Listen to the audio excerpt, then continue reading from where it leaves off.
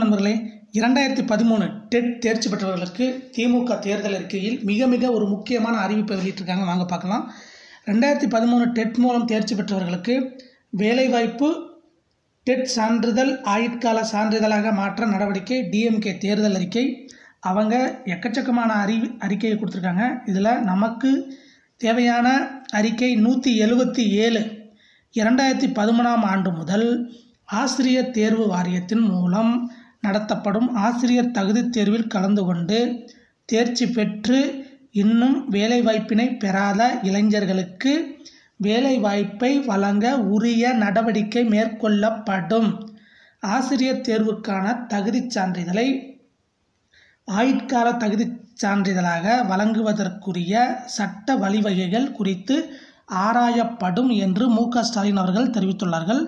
இதுபோக பள்ளிக்கல்வித்துறையில் என்னென்ன பண்ண போகிறாங்கன்னா அதாவது உடற்கல்விக்கென வாரம் மூன்று பாட வேலைகளாவது ஒதுக்கீடு செய்ய நடவடிக்கை மேற்கொள்ளப்படும்.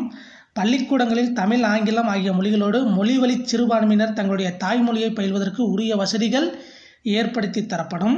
ஆசிரியர்களின் பொது மாறுதல்களுக்கான கலந்தாய்வில் தற்போது பல்வேறு முறைகேடுகள் நடைபெறுவதால் கழக ஆட்சி அமைந்ததும் ஒளிவு மறைவற்ற வெளிப்படைத்தன்மையுடன் கலந்தாய்வு நடத்தப்படும். அண்ணா நூற்றாண்டு நூலகம் பொது பொலிவு பெறும் வகையில் புனரமைக்கப்படும்.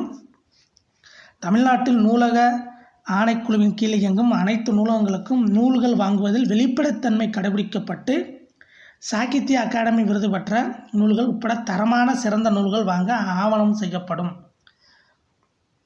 ஊர்ப்புற நூலக கிராமங்களுக்கு நூல்களை காலமுறையினை பணி வழங்கப்படும். குடும்பத்தில் முதல் தலைமுறை பட்டம் பெற்ற ஒருவருக்கு அரசு வேலைவாய்ப்பில் முன்னுரிமை வழங்கப்படும். கழகத் தலைவர் மு க ஸ்டாலின் அவர்கள் எதிர்க்கட்சியில் இருக்கும்போதே தனது தொகுதியான கொளத்தூரில் அனிதா அச்சீவர்ஸ் அகாடமி மூலம் ஆயிரத்திற்கும் மேற்பட்ட பெண்களுக்கு திறன் மேம்பாட்டு பயிற்சி வழங்கி வேலைவாய்ப்பை பெற்றுக் கொடுத்துள்ளார்.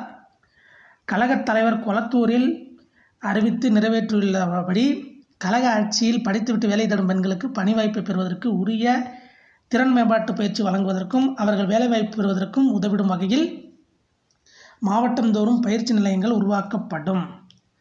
பள்ளிக்கல்வித்துறையில் தற்போது பகுதி நேர ஆசிரியர்களாக பணியாற்றி வரும் ஓவிய ஆசிரியர்கள் இசை ஆசிரியர்கள் உடற்பயிற்சி ஆசிரியர்கள் ஆகியோர் பணி நிரந்தரம் செய்ய நடவடிக்கை. இதுபோன்று பள்ளிக்கல்வித்துறைக்கு எக்கச்சக்கமான அறிவிப்புகளை வெளியிட்டுள்ளார். அனைத்தும் நிறைவேற கண்டிப்பாக முயற்சி மேற்கொள்வார்கள் என்று எதிர்பார்க்கப்படுகிறது. கண்டிப்பாக ரெண்டாயிரத்தி பதிமூணு டெட்டு பாஸ் பண்ணி வெயிட்டேஜ் முறையால் பாதித்தவர்களுக்கு ஒரு நல்ல முடிவு வரப்போகிற மே மாதத்தில் அறிவிக்கப்படும் என்று தெரிகிறது. இதை போன்ற வீடியோக்களை பெற நம்ம சேனல் சப்ஸ்கிரைப் பண்ணுங்கள் வீடியோ பிடிச்சிருந்தா ஷேர் பண்ணுங்கள் லைக் பண்ணுங்கள் நன்றி வணக்கம் நண்பர்களே.